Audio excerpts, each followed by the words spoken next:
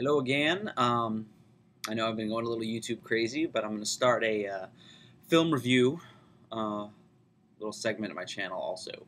I will not, however, go back and review movies that I've already seen um, and I'm very familiar with.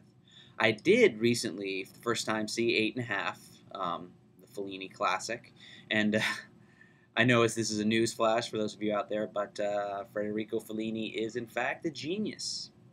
Um, eight and a half is the only one I've seen so far, but of course I've uh, put many more of his movies in my Netflix queue.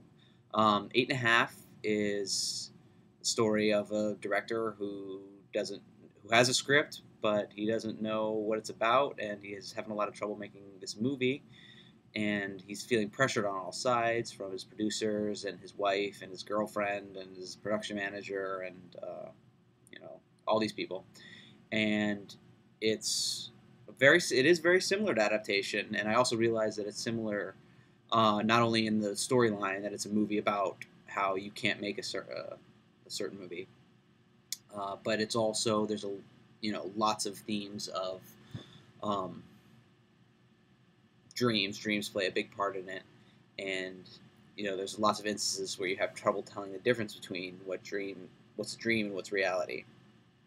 Um, it's re- it's really funny, really um, you know an honest movie, which is a shame because throughout the movie, um, his wife in particular, the main character's wife, criticizes him for not being able to tell the truth uh, in his real life, uh, which is a trapping of a lot of um, you know creative artists uh, who, especially storytellers. You know, they can't they uh, can't you know express themselves honestly in their interpersonal relationships but you know if you put them on stage in front of 500 people or give them a camera or you know sit them down in front of a typewriter they can you know be more honest than they ever could face to face i would put myself in that category certainly. I can be a lot more honest uh, to my little webcam here uh, or also on stage with uh, lights on me. As long as i can't see uh, people's faces i can be more emotional on stage than I could ever.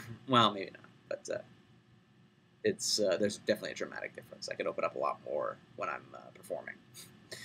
Um, what else? It's shot. Uh, of course, it's shot incredibly well. Um, these really luxurious shots, which is uh, a departure from a lot of the Italian neo-realist movies that um, came before this. And uh, in some of my research, I found out that uh, Fellini also contributed to a lot of those early Italian neorealist films.